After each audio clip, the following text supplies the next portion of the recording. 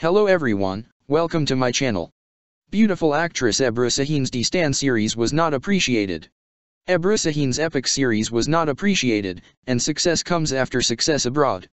Destan, one of the important historical series produced by Bozdağ Film, stood out as a production that tells the story of an imaginary heroine who has nothing to do with reality.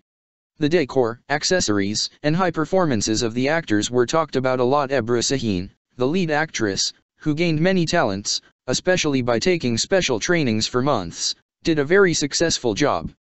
The Epic series was remembered as a project that was appreciated in all aspects, but we should also not forget the fact that the audience could not see the second season due to the lack of support. The lack of appreciation of the new script was cited as the reason why the show did not continue, but the main concern was that the audience showed the expected high interest in the first season for a while, but then it was not possible to reverse the huge drop in ratings.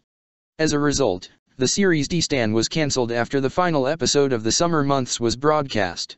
However, the success of the series continues abroad. In September, at the Seoul International Drama Awards, along with Prisoner, Epic won the Best Drama Award. The Destan series, which is not appreciated enough in Turkey, was sold to 31 countries, which was recorded as a very important success. The last success story from abroad about the Epic series was that it was the only Turkish series to be nominated for the Venice TV Awards. Within the scope of the Venice Television Awards, where participation from 27 different countries took place the Epic series, which attracted great attention on the ATV screen and produced by Bozdağ Film, was the only Turkish series to be nominated in the Best Telenovela category. While the Portuguese drama, Festa e Festa, Life's a Party, received the gold status, Canada's District 31, Belgium's Lisa, Brazil's Genesis and Pantanal were also nominated.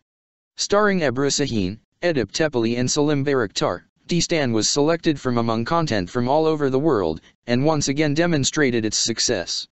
The success of the series Destan is also very high in the international market, the series has already been bought by 31 countries. Organized to reward quality and outstanding television content, the Venice TV Award ensures that creative and high-quality work is recognized locally and internationally, both by producers and broadcasters. The jury evaluated worldwide television content under 16 categories, showing that the television industry continues to be active, successful, and creative. We have come to the end of our video for now, friends.